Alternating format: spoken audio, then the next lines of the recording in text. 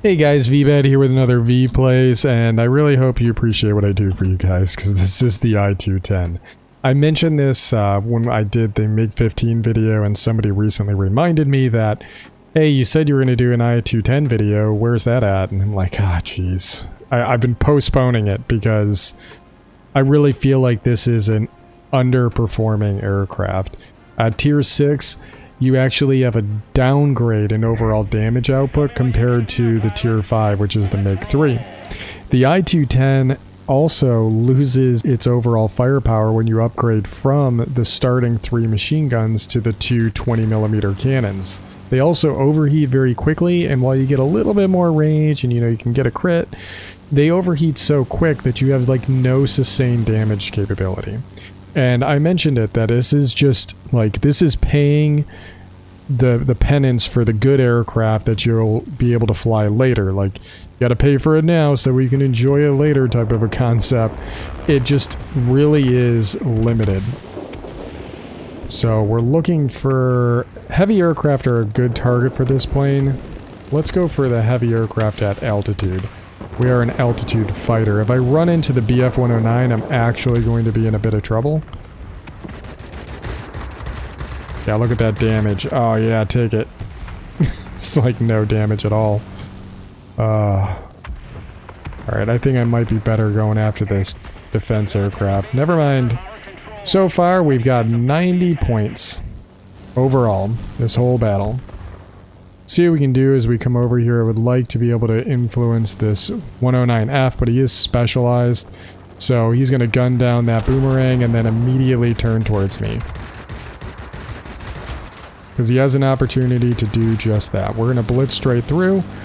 See if we can drag him a little bit.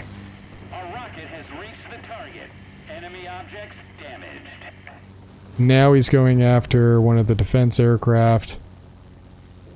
He's got one on his six, and he ended up picking up the zone. Man, we are in a tough spot. We're going up against two much better altitude fighters than us. Oh, I shouldn't have come over here. This is my own fault. Best thing we can do is dip the nose and hope that we can get away, but it isn't going to happen. We do not have firefighter. We don't have any skills on the aircraft. Uh, 240 points, and we're already this far into the game. Uh, Zorro Plateos in the MiG-3, great aircraft, but, ugh, what a painful plane to fly in. I thought I was getting help because I thought the bomber was coming over here or something, at least something to kind of distract the enemy, but that wasn't going to happen. Uh, we'll head back in the mid. I believe that's where Zoro is because there's a bunch of light fighters, so hopefully we just lost our Zero. Ooh, we're in a bit of trouble. Where's my allies? It doesn't even show. Oh, they're down low. So... Can I... Will it let me? Oop. Okay.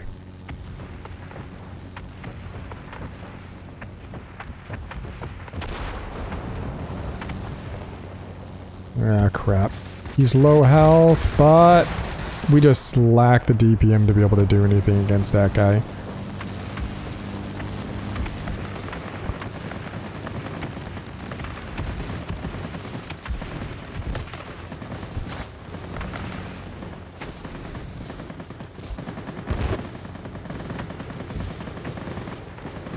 Whew.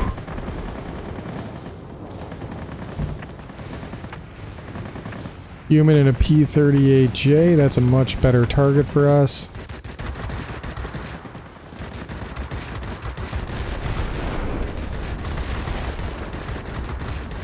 Oh, we actually got a kill. Whoa! That was close. Uh, we got a P-47B. We just coaxed into intercepting this guy. Let's see if we can come back around and surprise him, maybe. Oh, sweet. We got the specialized BF-109. Man, that was not an easy endeavor. Uh, P-47. It's got a bit of hit points for this tier, and our 160 damage per second might not be as effective as we would like. Now, if it was just me chasing this guy, like, eventually I'd be able to get him. I wouldn't be that worried about it, but like Shifty had him all day. Like if I'm up here with any other players, they're easily going to get that kill if we're both shooting at it just because of volume of fire. I'm going to be overheated. Um, just not going to be able to pump out the damage quick enough. Like going after bombers, if I was in a Mustang, yeah, it would take some time, but I could do it. I could just hammer down on the trigger right now. But as you can see, these guns are overheating quite a bit. So I have to be very careful with how I use them. I'm essentially little bursts here and there to hopefully be able to take this aircraft out. And that took way too long to do. And we're not going to do so hot on points. I mean, Zoro's doing a great job, but he's also pumping out over 200 damage per second while we're only pumping out 60. Like I mentioned, we are going to be great at being able to chase down heavies. We actually have pretty decent maneuverability even at base. We got a 10.3 second turn circle, or yeah, turn time for going 360. Managed to light that guy on fire. Oh, we got a kill. Nice. Mark it in the book. Okay, Zoro, I don't want your kill. I just hope that I get 75 points from it. Nope, I didn't even didn't even hit. Uh, I don't think any of those rounds hit. No, they did. They did. Whew. Let's go for the climb. We're going to use some of our boost here. Get ourselves up to altitude.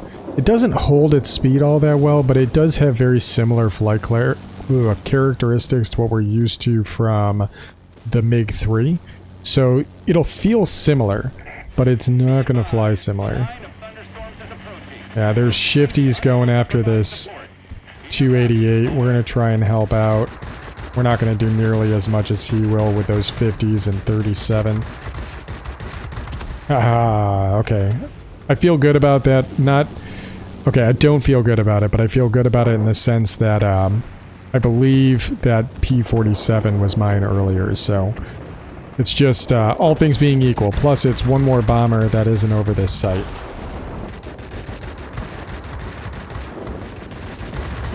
We're maintaining good chase on this P-38J. Got his wings, and we didn't even get the kill. Okay. To be expected. There is a light fighter inbound. It is a Spitfire. All hands on the target. Managed to get a crit. That is one of the advantages that we have with going to cannons. I'm going to get this guy into a low energy state. He managed to get his tail there. I'm going to get a bit of distance. And now I'm going to come back around on him. He might be dead by the time I get there. Zoro's on him. Yeah. Like I said, we were lucky that we had Zoro on our team this time. The airfields are ours. We've got the enemy contained.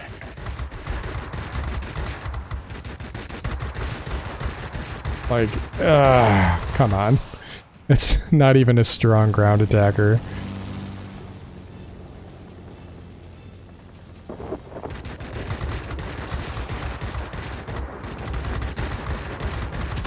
Oh, we got lucky.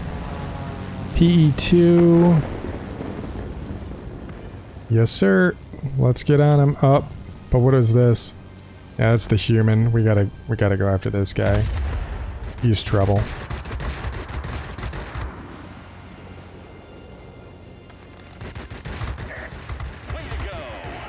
No, don't you kill my ally. We got his engine.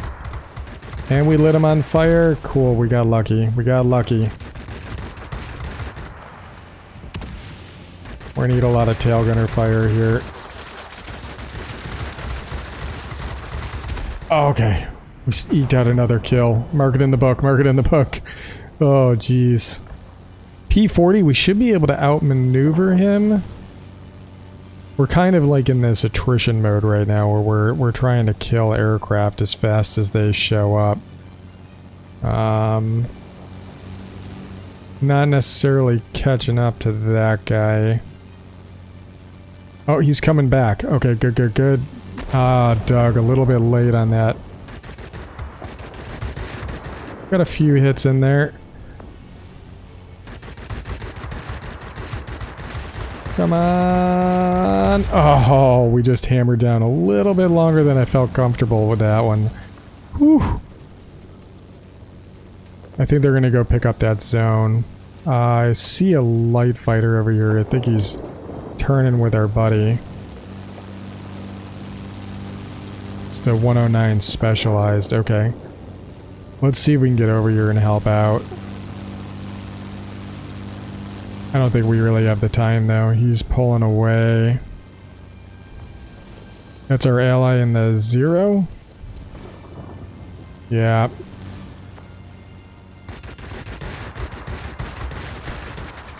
Oh, he got us. Ah. It's alright though. That's pretty much going to wrap it up between Zoro flying around and his MiG-3. Whew. It's not even specialized either. But this is a really good example of how much better the MiG-3 is than the I-210.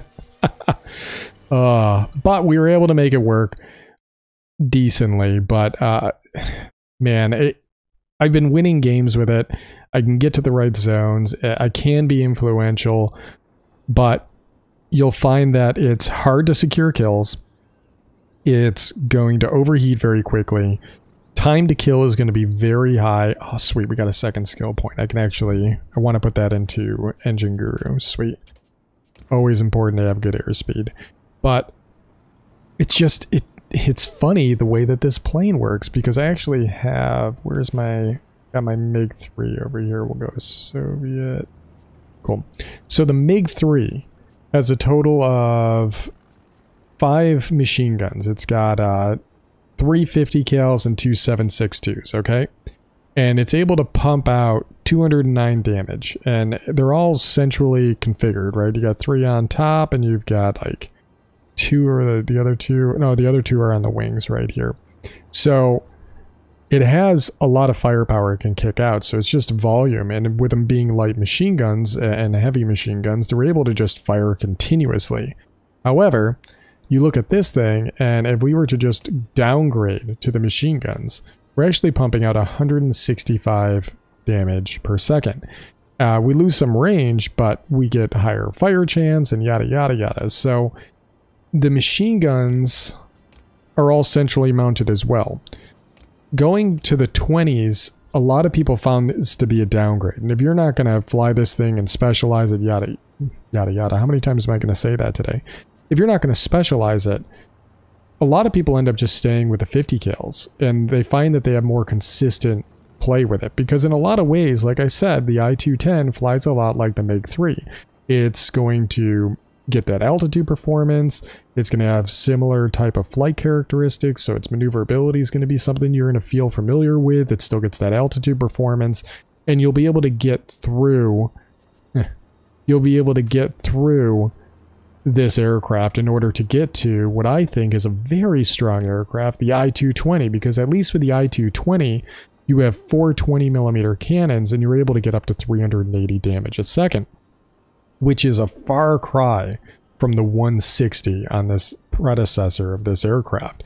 Um, so this thing is really just a bit of a pain, but it's not unflyable. It's just not very enjoyable in my experience, and I did pick it back up. Uh, I'll hope to specialize it. If we do specialize it, we'll be able to kit it out with some more flight characteristics to increase its overall capability. But if we specialize it, we're also locked into the 20s. So I'm just going to keep them on here. Uh, I think as a maneuverability platform, it's going to surpass all of the other altitude fighters.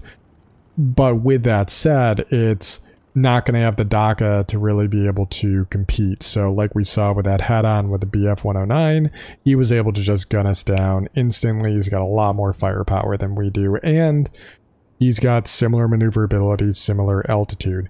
Uh, Specialized will be able to outturn him, I'm pretty sure of that. But, yeah. Sorry guys, if you're if you're flying through the I-220, it's a bit of a pain, uh, but it's a it's going to be a means to an end because the I-220 really is a joy.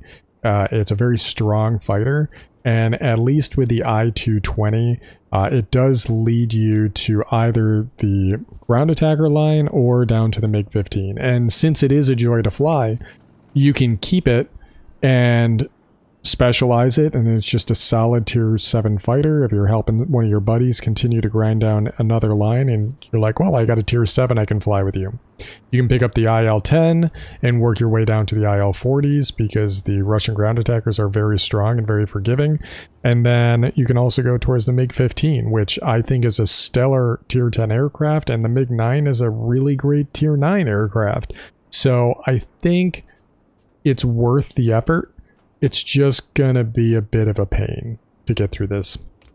Not undo not not undoable, but it's just gonna be a bit of a bit of a pain. And much like with the P-51H, I do suggest having another aircraft to fly periodically because you'll probably get fairly sick of this. Good news though is it's only a tier 6, so getting to the tier 7 isn't going to hurt as bad. Anyways, I hope you guys enjoyed uh, me stumbling over my words yet again, but here here it was, the, the bane of my existence, the I-210. and hopefully you guys are having better experience with it, better luck. Uh, flying with a friend is going to be invaluable with this aircraft, and maybe having them feed you some kills, pulling their guns off at the last second and letting you secure it so that way you can get out of this as soon as possible. So, again, I hope you guys enjoyed the video, and as always, I'll catch you on the next one.